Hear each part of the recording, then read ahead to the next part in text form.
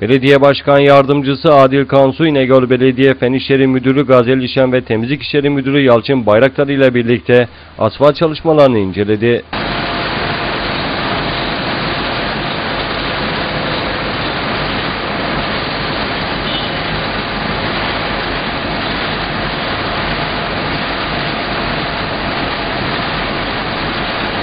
Yapılan incelemelerin ardından Belediye Başkan Yardımcısı Adil Kansu çalışmalar hakkında bilgiler verdi. Gördüğünüz gibi İnegöl'ün tamamına, köylerimize, yeni mahallelerimize, beldelerimize ve merkezimizde yoğun bir şekilde çalışıyoruz.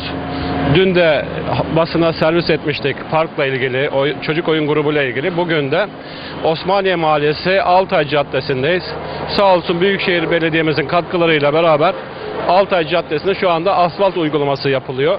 Burada şikayetler vardı. Doğrudur. Otobüs güzergahı olduğundan dolayı çökmeler vardı. Bu çökmeler şu anda hepsi kaldırılarak yeni bir asfalt uygulanıyor.